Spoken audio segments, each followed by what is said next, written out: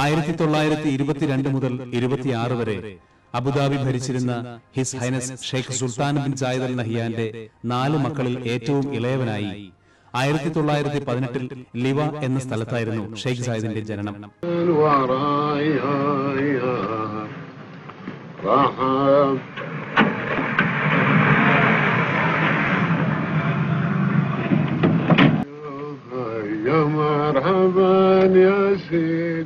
തന്റെ പിതാവ് His Highness Sheikh Zayed bin Khalifa Al നഹിയാന്റെ പേരാണ് ഷെയ്ഖ് സുൽത്താൻ തന്റെ മകന് ഇട്ടത്. ആയിരത്തി തൊള്ളായിരത്തി നാൽപ്പത്തി ആറ് മുതൽ അലൈൻ എന്ന കൊച്ചുദേശത്തെ ബദു സമൂഹത്തിന്റെ ഭരണാധിപ പ്രതിനിധിയായാണ് Sheikh Zayed bin Sultan Al നഹിയാന്റെ ഭരണരംഗത്തേക്കുള്ള പ്രവേശം. രാജ്യഭരണത്തിന്റെ അടിസ്ഥാന പ്രമാണങ്ങളും സഹജീവികളോടൊപ്പം നിന്ന് അവരുടെ ആവശ്യങ്ങൾ കണ്ടറിഞ്ഞ് സഹായിക്കാനും സായിദ് ഖലീഫ ഉമറിന്റെ പാത പിന്തുടർന്നു. കേവലം ഇരുപത്തിയെട്ട് വയസ്സു മാത്രമുണ്ടായിരുന്ന സായിദ് ഒരു പക്വതയാർന്ന ഭരണനിപുണന്റെ പാഠവും പ്രകടിപ്പിച്ച് ഇതിനോടകം പേരെടുത്തു കഴിഞ്ഞിരുന്നു. അദ്ദേഹത്തിന്റെ പിതാമഹനും ആയിരത്തി എണ്ണൂറ്റി അൻപത്തി അഞ്ച് മുതൽ തൊള്ളായിരത്തി ഒൻപത് വരെ തലസ്ഥാന നഗരമായ അബുദാബി ഭരിക്കുകയും ചെയ്ത His Highness Sheikh Zayed bin Khalifa Al നഹിയാനാണ് ഭരണരംഗത്തെ അദ്ദേഹത്തിന്റെ വഴികാട്ടി. ആയിരത്തി തൊള്ളായിരത്തി അൻപത്തി മൂന്നിൽ ഷെയ്ഖ് സായിദ് തന്റെ സഹോദരന് ശേഷം ബ്രിട്ടൻ സന്ദർശിച്ചപ്പോൾ അവിടുത്തെ സ്കൂളുകളും ആശുപത്രികളും കണ്ട് സ്തബ്ധനായി. എന്തുകൊണ്ട് തന്റെ ദേശത്തും ഇത്തരം അത്യാധുനിക സൗകര്യങ്ങൾ കൊണ്ടുവന്നുകൂടാ എന്ന ചിന്ത മടക്കയാത്രയിലുടനീളം സായിദിന്റെ മനസ്സിനെ മതിച്ചുകൊണ്ടിരുന്നു ആറു വർഷങ്ങൾക്കുള്ളിൽ ആയിരത്തി തൊള്ളായിരത്തി അൻപത്തി ഒൻപതിൽ അലൈൻ നഗരത്തിൽ ആദ്യത്തെ സ്കൂളും ആശുപത്രിയും പിന്നെ ഒരു റോഡും ചന്തയും നിർമ്മിച്ചതിലൂടെ തന്നിൽ വിശ്വാസമർപ്പിച്ചിരുന്ന പരശതങ്ങളുടെ ഒരു വലിയ സ്വപ്നവും ആവശ്യവുമാണ് സായിദ് നിറവേറ്റിയത്. പ്രജാതൽപരനായ ഒരു ഭരണാധികാരിക്ക് വേണ്ട എല്ലാ ഗുണങ്ങളും ഷെയ്ഖ് സായിദിൽ സമ്പന്നമാണെന്ന് ബ്രിട്ടീഷ് എഴുത്തുകാരനായ സർ വിൽഫ്രഡ് ഫെസിഗർ തന്റെ അറേബ്യൻ സാൻസ് എന്ന പുസ്തകത്തിൽ പറയുന്നു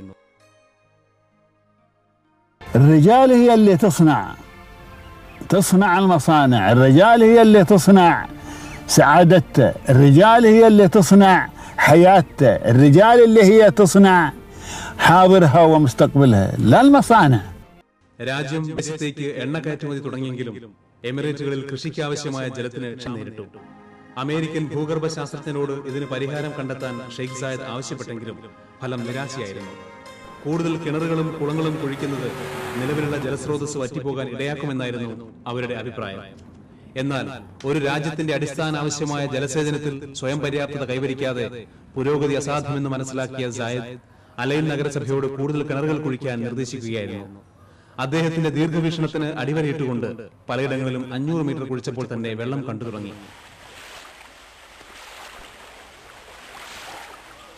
ഇന്ന് ഈത്തപ്പഴം ഉൾപ്പെടെ നിരവധി പഴവർഗങ്ങൾ ഉൽപ്പാദിപ്പിക്കുന്നതിൽ സ്വയം പര്യാപ്തത കൈവരിച്ച രാജ്യം അമേരിക്ക ജപ്പാൻ മലേഷ്യ ഇന്തോനേഷ്യ തുടങ്ങിയ വിദേശ രാജ്യങ്ങളിലേക്ക് പഴവർഗങ്ങൾ കയറ്റുമതി ചെയ്യുന്നുമുണ്ട്. ഒരു കാലത്ത് വെള്ളവും വെളിച്ചവും അന്യമായിരുന്ന മനുഷ്യ സാന്നിധ്യം അപ്രാപ്യമായിരുന്ന എമിറേറ്റുകൾ സ്വയം പര്യാപ്തിയുടെ പടവുകൾ താണ്ടാൻ തുടങ്ങിയപ്പോൾ ഊഷരപൂർവമായ ഒരു കാലഘട്ടത്തിൽ നിന്നും ഉന്മേഷത്തിന്റെ പച്ചപ്പുളിലേക്ക് പദമൂന്നി തുടങ്ങിയതോടെ എമിറേറ്റുകൾക്ക് ശക്തനായ ഒരു ഭരണാധികാരി വേണമെന്ന ആവശ്യം ഉയർന്നു. ഭരണാധികാരികളും ജനങ്ങളും ഐക്യകണ്ഠേന ഒരു തീരുമാനത്തിലെത്തിയപ്പോൾ ആയിരത്തി തൊള്ളായിരത്തി അറുപത്തിയാറ് ഓഗസ്റ്റ് ആറിന് His Highness Sheikh Zayed bin Sultan Al Nahyan ബ്രിട്ടനു കീഴിലെ ട്യൂഷൻ സംസ്ഥാനങ്ങളായിരുന്ന എമിറേറ്റുകളുടെ പരമാധികാരിയായി.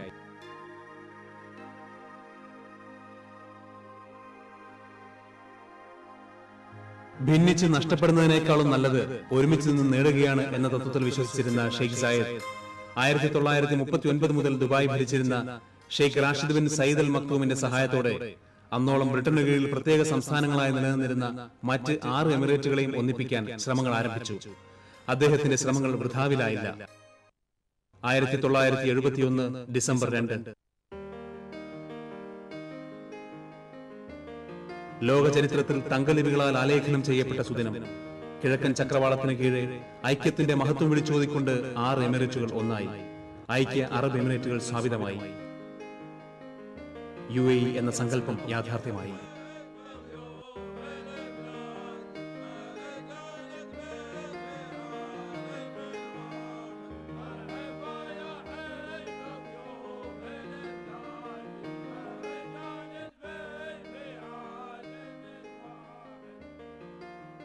യു എ ഇ രൂപീകരണ ദിനം തൊട്ട് ഇന്ന് വരെയുള്ള വർഷങ്ങൾ വിശകലനം ചെയ്യുമ്പോൾ നമുക്ക് കാണാം. ലോകത്ത് ഏതൊരു രാഷ്ട്രത്തെയും പോലെ വിവിധ സമസ്യകളിലൂടെയും സന്ധികളിലൂടെയും രാഷ്ട്രീയ പശ്ചാത്തലങ്ങളിലൂടെയും യു എ കടന്നുപോയി. ദിവസങ്ങളോളം യാത്ര ചെയ്ത് ഏറെ കഷ്ടപ്പെട്ട് ഖുർഫുഖാൻ മലനിരകൾക്കടുത്ത് ലാഞ്ചിൽ വന്നിറങ്ങിയ ആദ്യത്തെ മലയാളി തൊട്ട് ഇന്ന് സൂപ്പർസോണിക് വിമാനത്തിൽ മണിക്കൂറുകൾക്കകം അന്താരാഷ്ട്ര വിമാനത്താവളത്തിലെത്തുന്ന ആധുനിക ഭാരതീയൻ വരെ. അന്നത്തിന് വകതേടി ദുബായിൽ നിന്നും അബുദാബിയിലേക്ക് മരുഭൂമിയിലൂടെ ദിവസങ്ങളോളം യാത്ര ചെയ്ത് വഴിയിൽ വെള്ളം കിട്ടാതെ മരിച്ചു വീണ ഹതഭാഗ്യർ ജീവിച്ചിരുന്ന കാലത്തിൽ നിന്നും മാറി നിമിഷങ്ങൾക്കകം എത്തിച്ചേരാവുന്ന സൂപ്പർ ഹൈവേയിലെ ഇരമ്പലുകൾ വരെ. അക്ഷരാഭ്യാസം സ്വപ്നം കണ്ടിരുന്ന ഒരു ജനതയിൽ നിന്നും വിദേശ യൂണിവേഴ്സിറ്റികളിലെ ബിരുദം കരസ്ഥമാക്കി പടിയിറങ്ങി വരുന്ന ആധുനിക തലമുറ വരെ. ചുട്ടുകൊള്ളുന്ന മരുഭൂമിയിൽ ഈന്തപ്പനച്ചോലയിൽ അഭയം കണ്ടെത്തിയിരുന്ന പൂർവികരിൽ നിന്നും ശീതീകരിച്ച മുറികളിൽ നിന്ന് അർത്ഥവത്തായ ജീവിതം ആസ്വദിക്കുന്ന പിൻഗാമികൾ വരെ ലോകവും ലോകരും ശ്രദ്ധിക്കാതിരുന്ന ഒരു കൊച്ചു ഉപദ്വീപിൽ നിന്ന് മാറി. ലോകത്തിലെ ഏറ്റവും നല്ല രാജ്യങ്ങളിലൊന്നിലേക്കുള്ള ദൂരം വരെ എല്ലാം എല്ലാം ഈ ഭൂമി നോക്കി കാണുകയായിരുന്നു.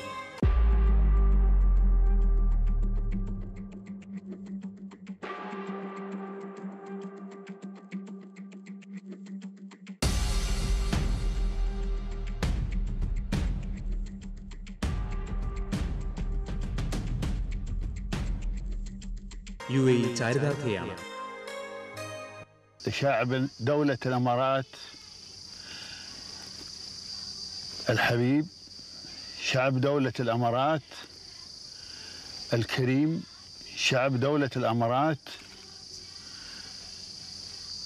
الذي يستحق كل عون. من من هو يكون قائد له ലോകത്തിലെ അടിച്ചമർത്തപ്പെട്ടവരോടും പീഡിതരോടും ഷെയ്ഖ് സായിദ് കാണിച്ച ഐക്യദാർഢ്യം അതിർത്തികൾക്കും വർണവർഗ വ്യത്യാസങ്ങൾക്കും അതീതമാണ്. പ്രകൃതി ദുരന്തങ്ങളിലോ മനുഷ്യനിർമ്മിത ദുരന്തങ്ങളിലോ ലോകത്ത് ഏതെങ്കിലും സമൂഹം പ്രയാസം അനുഭവിക്കുമ്പോൾ സഹായഹസ്തവുമായി യു എ ഒന്നും മുന്നിലുണ്ട്. കൊസോവോയിൽ യു എ സൈന്യം കാട്ടിയ സേവനം ലോകരാഷ്ട്രങ്ങളുടെ മുക്തകണ്ഠ പ്രശംസയ്ക്ക് പാത്രമായി. മാത്രമല്ല കൊസോവോയിൽ സമാധാനം സ്ഥാപിക്കാൻ രൂപീകരിച്ച കെ എഫ് ഒ ആർ എൽ അംഗമാകുന്ന നാറ്റോ അംഗമല്ലാത്ത ആദ്യ രാഷ്ട്രവും യു എ ആണ്. ഇറാഖിലോ പലസ്തീനിലോ അൽബേനിയ സോമാലിയ എന്നിവിടങ്ങളിലോ വിശക്കുന്നവന് ഒരു നേരത്തെ ഭക്ഷണം കിട്ടുന്നുണ്ടെങ്കിൽ മുറിവേറ്റവന്റെ മുറിവിൽ മരുന്ന് പിറളുന്നുണ്ടെങ്കിൽ അവിടെയെല്ലാം യു എയുടെ സാന്നിധ്യമുണ്ട്.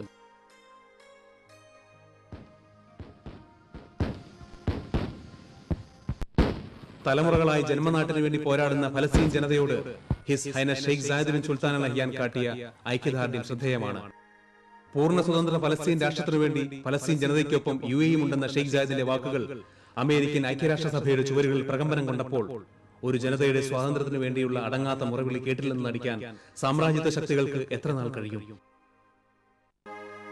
സമത്വത്തെക്കുറിച്ച് യു എയുടെ കാഴ്ചപ്പാട് ലോകത്തെ ഒന്നാംകിട ജനാധിപത്യ രാജ്യങ്ങളിൽ പോലും നമുക്ക് കണ്ടെത്താൻ കഴിയില്ല. ലോക സമത്വത്തെക്കുറിച്ച് ഷെയ്ഖ് സായിദിന് വ്യക്തമായ കാഴ്ചപ്പാടുണ്ടായിരുന്നു. എല്ലാവരും തുല്യരാണ്. ദൈവത്തിന് മുന്നിൽ വലിയവനെന്നോ ചെറിയവനെന്നോ വ്യത്യാസമില്ല. ഇസ്ലാമിന്റെ കാഴ്ചപ്പാടാണിത്. ഇത് പ്രായോഗികവൽക്കരിക്കാത്തിടത്ത് സാമൂഹിക സമത്വം സാധ്യമല്ല. അവരനെ സ്നേഹിക്കാനും ബഹുമാനിക്കാനും പഠിപ്പിക്കുന്നതാണ് ഇസ്ലാം. നമ്മുടെ ജീവിതത്തിൽ അമ്മയായും പെങ്ങളായും ഭാര്യയായും സുഹൃത്തായും എത്തുന്ന സ്ത്രീക്ക് ഷെയ്ഖ് സായദ് കൽപ്പിച്ച മാന്യത അന്താരാഷ്ട്ര സമൂഹത്തിന് പോലും മാതൃകയാണ്. അവളുടെ അവകാശങ്ങളും മാന്യതയും എല്ലാം ഇവിടെ സംരക്ഷിക്കപ്പെടുന്നു. ഏതു രാത്രിയിലും ഏതു ഘട്ടത്തിലും സ്ത്രീ ഇവിടെ സുരക്ഷിതയാണ്. സ്ത്രീ അപമാനിക്കുന്നവർക്ക് യു എ നിയമത്തിൽ കർശന ശിക്ഷ വകവെച്ചത് അവളുടെ അന്തസ്സത്തെയും ആഭിജാത്യവും നിലനിർത്താൻ വേണ്ടി മാത്രമാണ്. സ്ത്രീധനവും അതേ തുടർന്നുള്ള സാമൂഹിക അരാജകത്വവും വാഴുന്ന ഒരു ലോകത്ത് കല്യാണം കഴിക്കാൻ സ്ത്രീക്ക് പുരുഷൻ മഹർ കൊടുക്കണമെന്ന തത്വം യു എയിൽ കർശനമാണ് അതേസമയം കല്യാണം കഴിക്കാൻ സാമ്പത്തിക ശേഷിയില്ലാത്ത യുവതി യുവാക്കൾക്കായി യു എ കല്യാണ നിധി രൂപീകരിച്ച് കുടുംബമുണ്ടാക്കുക എന്ന സാമ്പത്തികമായി പിന്നോക്കം നിൽക്കുന്നവരുടെ സ്വപ്നങ്ങൾ സാക്ഷാത്കരിക്കപ്പെടുന്നതും ഇവിടെയാണ്. സമൂഹ വിവാഹങ്ങൾക്കും ചിലവ് കുറഞ്ഞ കല്യാണ മണ്ഡപങ്ങളുടെ നിർമ്മാണത്തിനും ഷെയ്ഖ് സായദ് വ്യക്തിപരമായ സഹായങ്ങളും ചെയ്തിരുന്നു.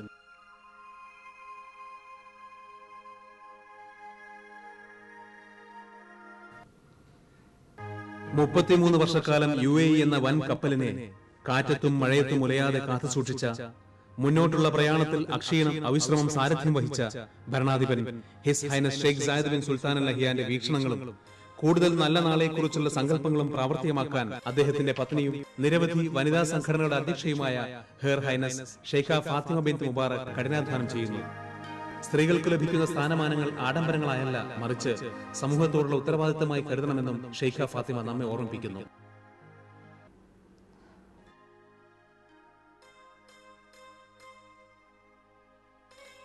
ഒരു നിപുണനായ ഭരണാധിപൻ എന്നെ പോലെ തന്നെ കറകളഞ്ഞ പ്രകൃതി സ്നേഹിയുമായിരുന്നു ഷെയ്ഖ് സായദ്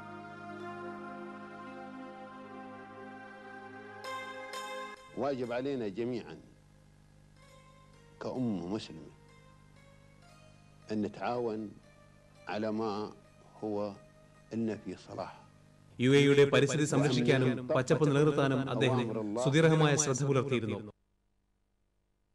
അദ്ദേഹത്തിന്റെ പ്രകൃതി സ്നേഹത്തിന് ലോക സമൂഹം W W F golden panda award നൽകി ആദരിക്കുകയുണ്ടായി നിരവധി അംഗീകാരങ്ങളും ബഹുമതികളും അദ്ദേഹത്തെ തേടിയെത്തിയതിനു പുറമെ നാലു വർഷം മുൻപ് മുതൽ ഷെയ്ഖ് സായദ് പരിസ്ഥിതി സംരക്ഷണ അന്താരാഷ്ട്ര അവാർഡ് എന്ന പേരിൽ ഒരു മില്യൺ ദൃഹത്തിന്റെ അവാർഡും അദ്ദേഹം ഏർപ്പെടുത്തിയിട്ടുണ്ട്.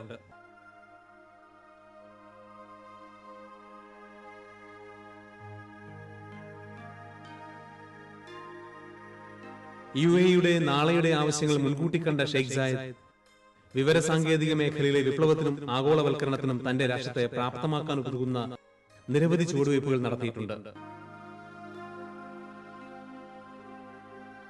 പ്രാദേശികവും അന്താരാഷ്ട്രീയവുമായ ഏതൊരു കാര്യത്തെക്കുറിച്ചും വ്യക്തമായ കാഴ്ചപ്പാടുള്ള ഷെയ്ഖ് സായദിന് തന്റെ രാജ്യത്തെക്കുറിച്ചും ഇനിയും ഒരുപാട് ഒരുപാട് പ്രതീക്ഷകളുണ്ട്. ഒരു രാജ്യത്തിന്റെ സമ്പത്ത് അതിന്റെ ഭൗതികമായ നേട്ടങ്ങളെക്കാൾ ഉപരി പ്രകൃതി സമ്പത്തിനേക്കാളും സാമ്പത്തിക അഭിവൃദ്ധിയെക്കാളും ഉപരി ആ രാജ്യത്തിന്റെ യുവതലമുറയാണ് എന്ന് അദ്ദേഹം വിശ്വസിക്കുന്നു. നാളെയുടെ പൗരന്മാരിൽ ഒരുപാട് പ്രതീക്ഷകളും ബാക്കി വെച്ചാണ് അദ്ദേഹം യാത്രയായത്.